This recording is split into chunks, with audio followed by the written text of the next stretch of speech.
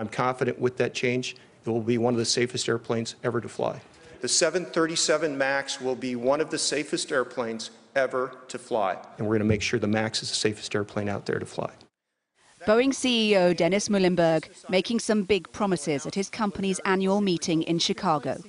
It's the first time he's faced shareholders since two of Boeing's new 737 MAX planes crashed within months of one another, killing 346 people. Those incidents in Ethiopia and Indonesia led to the global grounding of the MAX plane and growing questions about safety at the world's largest commercial aircraft manufacturer. In the light of the crisis facing your company and in the interests of re earning the trust of the flying public, have you considered resigning? Well, I think the important thing here again is we're very focused on safety. And I can tell you that both of these accidents weigh heavily on us as a company. I've had the privilege of working for the Boeing company for uh, 34 years. And uh, we know that lives depend on what we do. We take that very, very seriously. That's not good enough for the families of the victims and their supporters who gathered outside the shareholder meeting to protest. Samya Stumo died in the Ethiopian Airlines crash, and her uncle wants answers.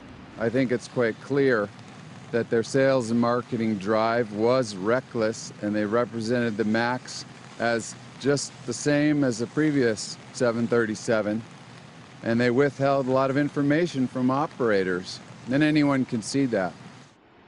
The crisis with Boeing's 737 MAX planes has already cost the company at least a billion dollars this year. Boeing said that its core profits fell 21% in the first three months of 2019 compared with the same period last year. And it's had no new orders for the aircraft since it was grounded. Production has been reduced down from 52 planes a month to 42. Boeing is updating the software on the MAX to decrease the power of an anti stall system called MCAS. Despite all the assurances that have been given here at this meeting, Boeing still can't predict when the MAX will be back in the skies. That's because US regulators have to first approve any updates to software and training, and then regulators across the world must do the same. And all the while, Boeing is battling multiple congressional investigations, civil lawsuits, and a possible criminal inquiry. It is a company under significant pressure fighting to regain both trust and reputation. Hannah Thomas Peter, Sky News in Chicago.